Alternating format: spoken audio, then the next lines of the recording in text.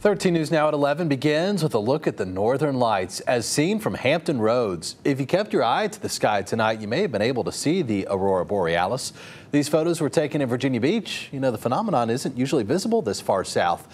And Hampton Roads isn't the only place in Virginia able to see it either tonight. Here's another incredible picture of the lights from Broadnax, just west of Emporia. Thanks for staying up tonight. I'm Dan Kennedy, joined by meteorologist Evan Stewart.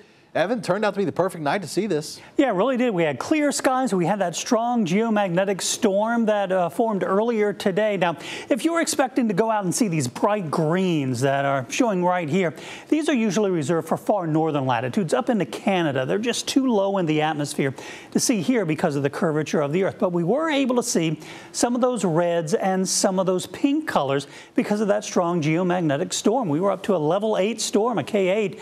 That's pretty high, something we haven't seen in several months. It was back, I think, on May 10th that we saw an equal storm like this. If you were hoping to see them, a lot of times you can't see them really with the naked eye. You can really see them certainly with the cameras, and you have to get away from lights. This is a satellite view showing the lights of all the cities, and a lot of the pictures, some of them did come from the metro area, but a lot of the pictures were really best uh, coming from areas where we were not seeing a lot of light pollution. And you have to go out there and let your eyes adjust, best in complete darkness away from the light pollution of the cities. So that's why a lot of the pictures did come from North Carolina up through the Middle Peninsula and the Eastern Shore, and those those cameras were on the enhanced night mode.